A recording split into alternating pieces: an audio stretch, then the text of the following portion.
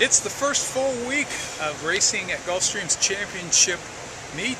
Let's take a look at how the week went.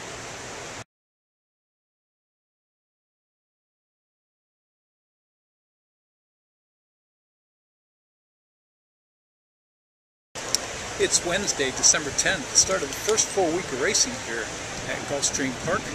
And today I came out here in the crisp weather. It's 47 degrees when I got up this morning, mid 60s as I'm out here this afternoon.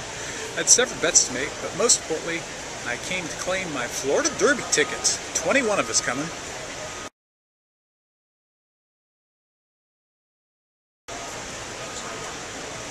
See how the racing turned out today. The third today was made special weight for two-year-olds. Yes, there's a Todd Pletcher runner, two-year-old filly, Eskenformoney, daughter of champion Eskendereya, who loved this track. Looked tons the best. Not only did she look the best, but it's a soft field.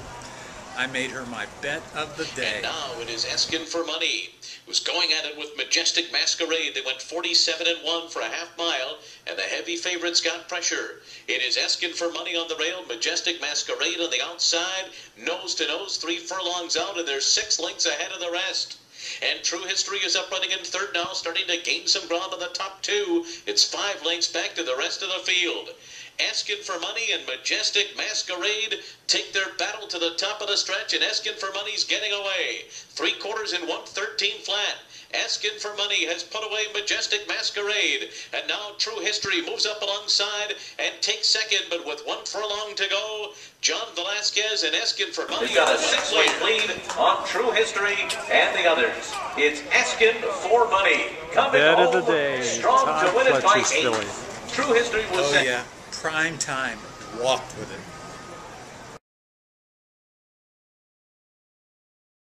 The fourth at Gulfstream today was uh, a mile and the 16th claiming event on the turf.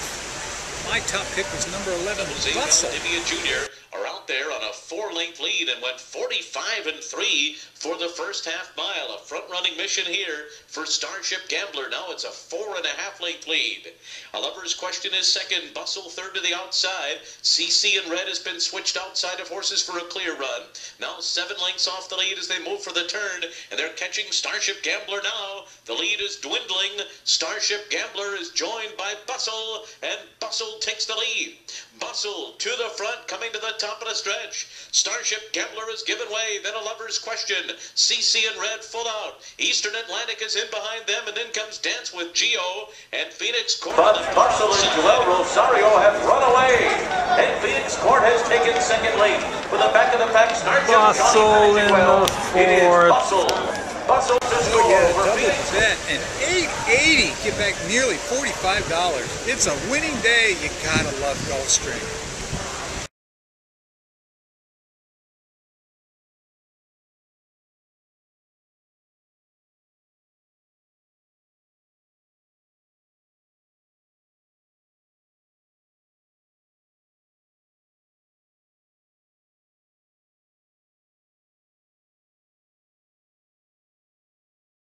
And they're into the stretch of 46 and two half mile. And Get Creative turns for home with a three length lead on Caramello.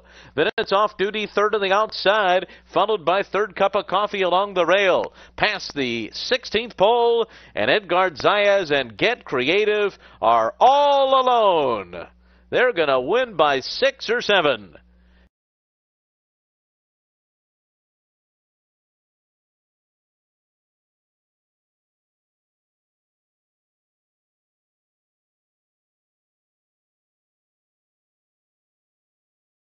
See Todd Pletcher and Johnny Velazquez get on Enchantress, my top pick on the opener here at Gulfstream. Enchantress had been impressive in a six furlong maiden special weight debut, and then she went into the grade three tempted at a one turn mile. Set the pace for four furlongs before fading to give way. Today she was turning back to six furlongs and looked to have this field over a barrel. She went off at a generous three to five, pressed the pace into the turn, two-length lead. Mama Mia Maria has made up ground into second. A 46 flat half mile. They're into the stretch, and it's Enchantress, and she's running away. Enchantress coming by the eighth pole, three and a half lengths in front. Mama Mia Maria claims to second, and Enchantress and John Velazquez come to the wire on top. Todd Pletcher moving by again. five to the end over Mama Mia Maria. Oh yeah, tripled the bet on Enchantress.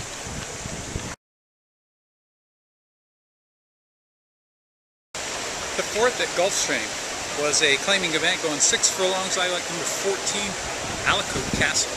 What I didn't like was he was claimed for 8,000 two back. And then he won for 10,000 and today he was in for 6,000. And he was in post 14.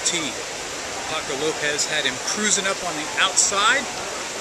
And under a hand ride, it's Alico Castle. Alico Castle is taking the lead and pulls away at the gate pole. Times Concern has moved up into second, and then it's Royal Fighter as they come down to the wire. It's Paco Lopez and Alico Castle winning it easily over Times Concern. Yeah, nice, over $15.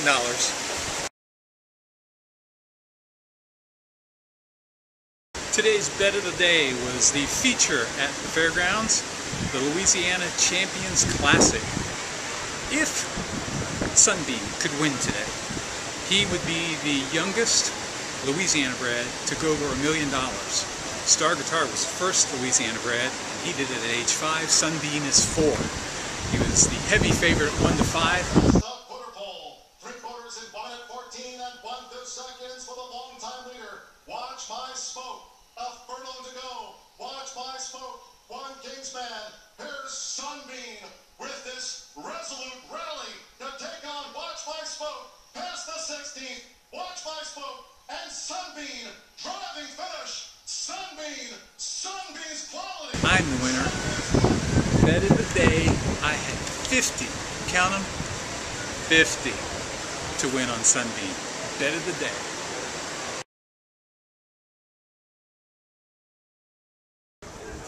The eighth at Gulfstream, we were on the turf for the El Prado Stakes. I like number seven, Mshawish for Todd Pletcher and Javier Castellano, who picked up his first win earlier today.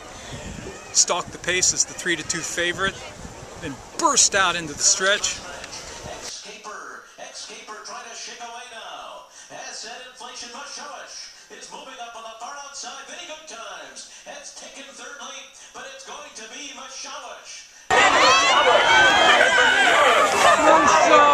For Todd Pletcher. The eighth at the fairgrounds was the Louisiana Champions Lassie. I like number 12, Wind Chill Factor. Wind Chill Factor had last been seen in the Louisiana Jewel for two-year-olds, and that was at Delta Downs. She'd been my bet that day, and man, she was impressive that day. In spite of drawing far outside today, she was a stalker and a closer, and that just plays really well here. So I thought post position wouldn't hurt her. I did not like the favorite on the rail, four to five, who was a front runner. Sure enough, that favorite, Vivian Dabling, went right to the front and was clear as they hit the far turn. Then here came Wind Chill Factor. At the top of the stretch, it's Sibley Moore who's just in front.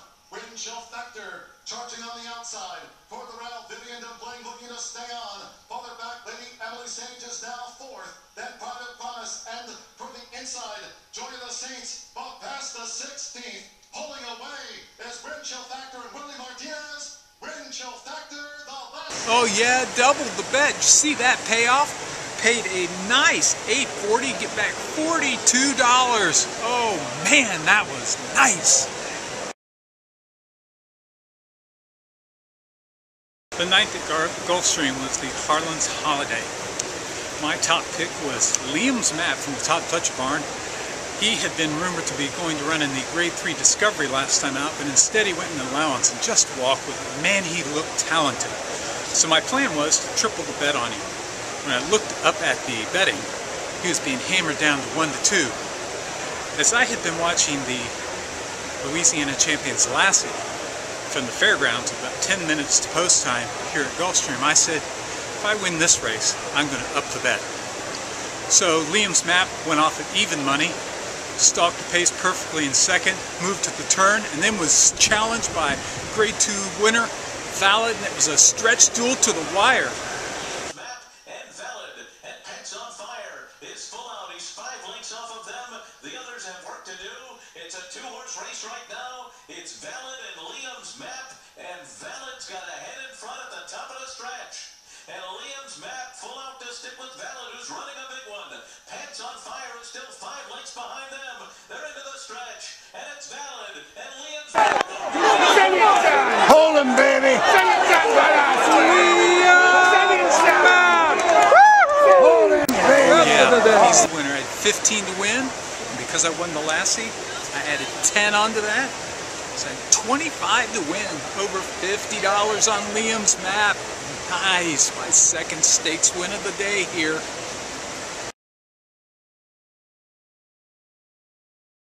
The ninth at the fairgrounds was my best bet of the day in New Orleans. It was the Louisiana Champions Turf. Like number five, String King. Local record of nine, four, two, and one. Consistently just run faster than these. Was pressing the pace three wide into the stretch. Made his run.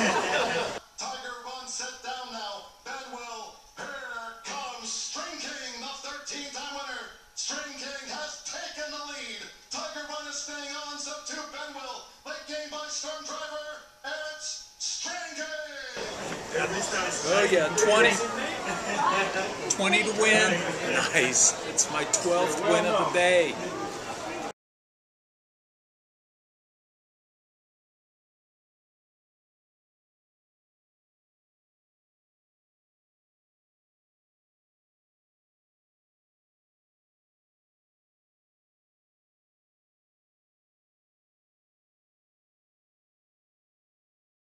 Niche and quite the issue on the far outside. They still have to get to Kit Kat Man. Here comes March Reward on the outside. Ricochet coming up the fence. March Reward Ricochet. Stableford is now third. Here's the wire, and it is March Reward.